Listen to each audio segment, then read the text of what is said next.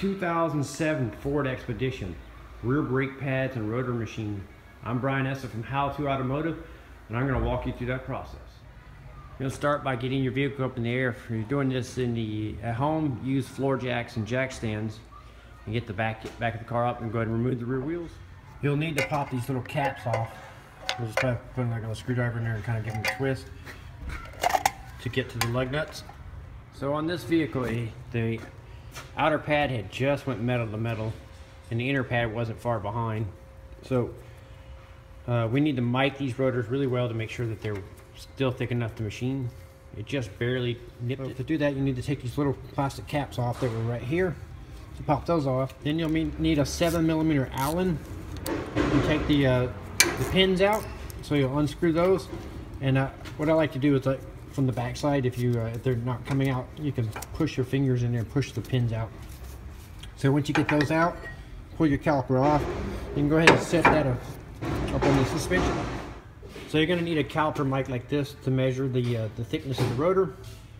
So you're going to measure the thickness, and you and especially since it's gone metal to metal, you're going to do this in uh, quite a few spots and try to find the absolute lowest spot to determine if you can machine this out.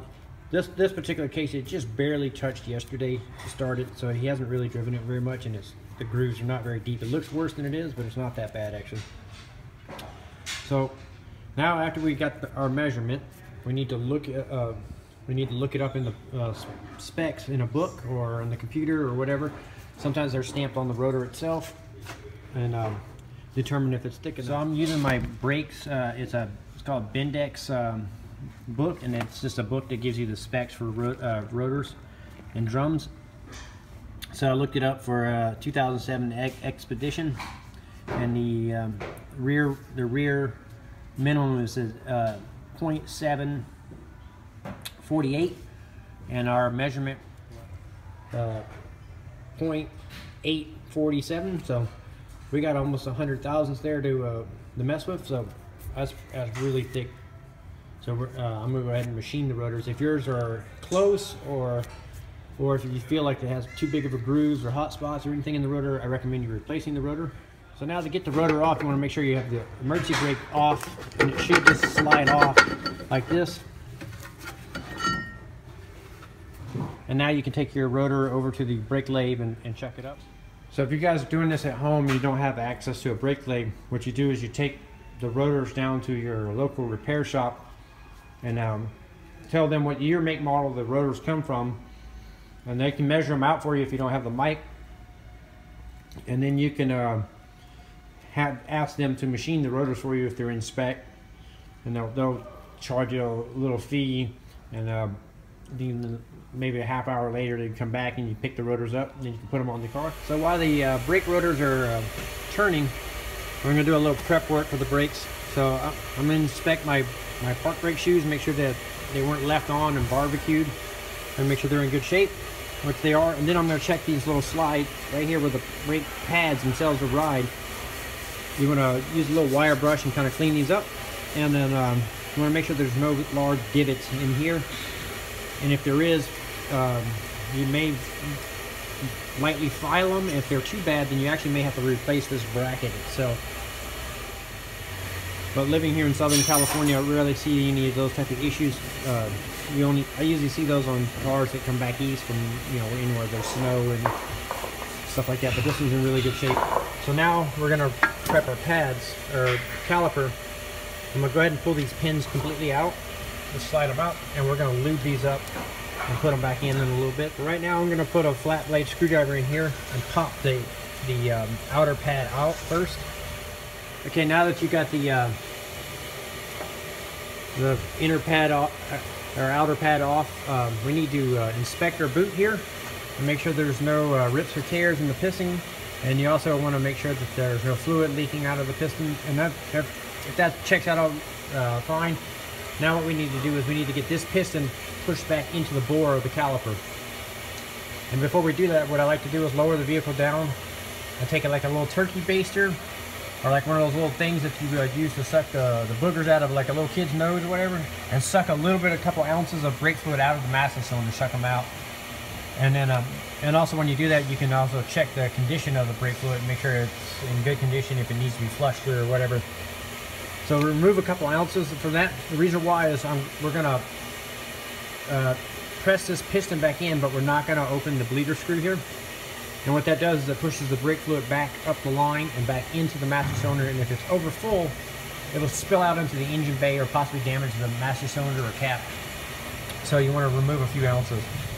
Okay, to, to, to press the piston back in, I'm going to use a C-clamp like this. They, they do make uh, tools that you can use, that like, they look like caulking guns type thing, and they push the pistons in. But a good old C-clamp works just fine.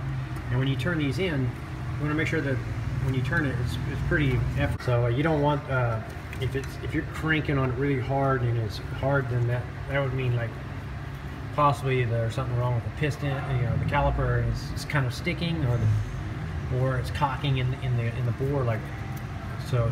And also I've also seen it like where the actual brake line itself will actually make it really hard for the, and if that's the case, then then there's a problem in your brake system.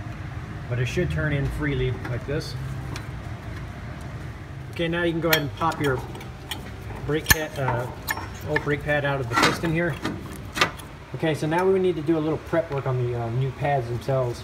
And what, what, I like to do, what I found over the years, is by adding a little bit of this Sil-Glyde uh, uh, brake caliper grease, thin layer of it, and you take just a thin layer and apply it to the back of the uh, pad on the shim. It helps reduce um, squeaking and uh, vibration. So I like to put a little thin layer on it. And also I wanted to, you also want to obviously match up your old um, your old pads with the new pads, and make sure they're the right stuff. So after you determine that, go ahead and put a little grease on the pads. Also I wanted to say be careful not to get the grease on the front side. If you do that, that's been known to actually cause squeaks. So try not to get any fingerprints or grease on it. And if you do, use a brake clean or a little bit of sandpaper or whatever to, to get it off. So now that your brake pads are, are prepped, um, we're going to go ahead and install the rotor back on and we're going to check the park brake adjustment. So what you want to do is you want to slide your rotor over and as you can see how loose this is, that, that indicates that the uh, park brake is out of adjustment. And you also want to keep it neutral so you can spin it and you can uh, so what you want to feel is like a light little drag on those shoe, those yeah, the shoes on the inside here. You don't want them super tight, just a light little drag. So if uh, if yours is loose like this one are, what you're going to do is pull the rotor back off. And on the bottom of the brake shoes here, there's a little adjustment wheel. You can adjust that to where the where the brake pads go out. So you'll adjust it a couple clicks, one or two clicks, slide your rotor back on, and, and, and feel that uh, you want to do small in increments at a time and, until it gets a snug little fit. Now that you got the park brake adjusted the way you like, now we need to put our, our um, new brake pads in the caliper. And the one with the larger clip is the, the one that goes into the piston. So you're gonna kind of put it in, line it up, and use your thumbs and kind of just press it in with your fingers. Then you'll put the outer pad on here, and then you'll kind of, with one hand on each side of the uh, brake pad, you'll squeeze them in pop them into place. Next, you're gonna take a little bit of this brake caliper grease and put a little bit on these pins that you took out out of here. So you're gonna, and then you're gonna put them back in here and kind of work them back and forth in here until the grease is evenly distributed inside the rubber bushing here. So you'll, you'll put some on there and you'll slide it back and forth and you'll do both, you know, top and bottom pins. So after your pins are lubed up, now you can take the brake caliper itself and slide it over your, your rotor here. And you also want on the on this one's here, the this little ear will go underneath the tab, like so, and then it'll it'll rotate around. Now you can put your uh, tighten up these pins, the seven uh, millimeter Allens, top and bottom, tighten those up. Also, when you put these calipers back on, you want to make sure that you don't twist the brake lines, so they should look nice and uh, just like that without, a, without any twist in it at all.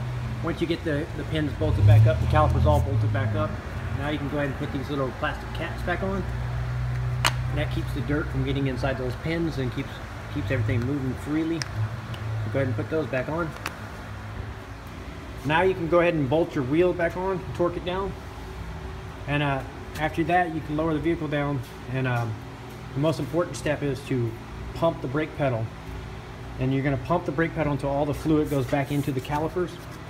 and you should have a nice firm brake pedal. If you don't have a nice firm brake pedal, you've somehow got air in the system and you'll have to bleed the system. And you'll bleed the, uh, you know, the right rear first, left rear. I recommend if you've got air it, just bleed all four wheels. And then, um, but most likely you're not gonna have to do that. I've never actually had to do it after pressing the piston in without opening the bleeder screw. And uh, just remind you to double check your fluid level in the master cylinder after you're done. And that completes rear brakes on a 2007 Ford Expedition. I'm Brian Eslick from How To Automotive. I'd like to thank you for watching my videos and uh, remind you to subscribe for more valuable videos like this. Thank you again.